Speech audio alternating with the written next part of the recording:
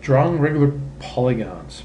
A regular polygon is any object that's single line polyline object in which all the sides are equal and all the angles are equal.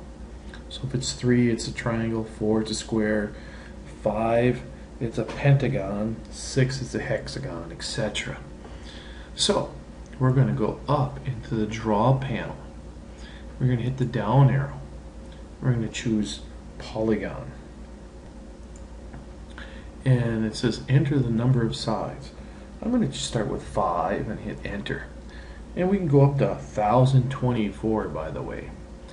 I'm going to enter the center of the polygon. I'm going to say 0 comma 0 and hit enter.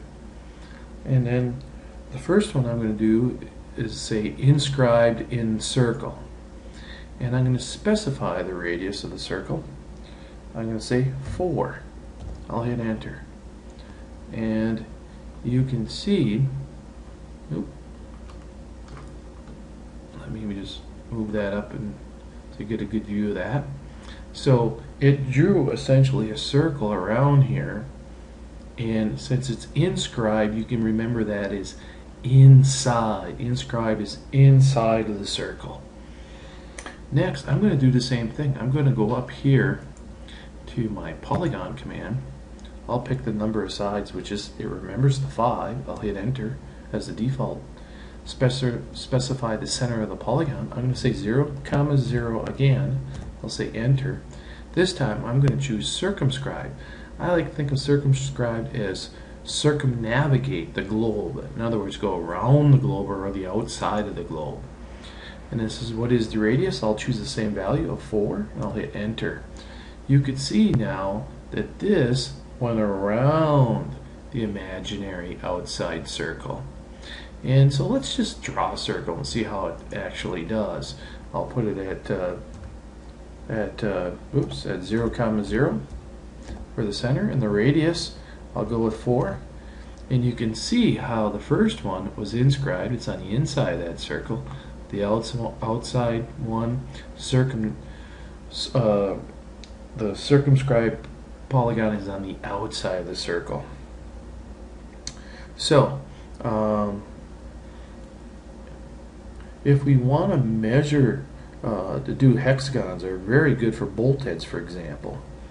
And if I want to measure across um, from one uh, flat to another we use the circumscribe about circle option and we put the value of one half the distance across the flats.